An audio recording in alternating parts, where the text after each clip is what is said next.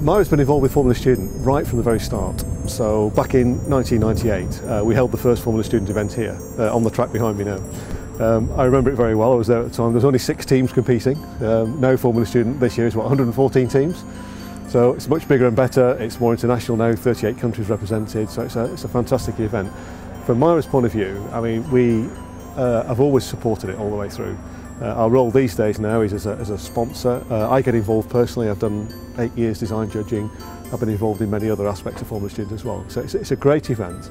Uh, we like what it does, we like what it is, but most importantly, we like the product it produces because it produces some very, very good, well-rounded engineers you know, in the industry at the moment. And here at MIRA, MIRA itself and the technology park companies, we need engineers like that.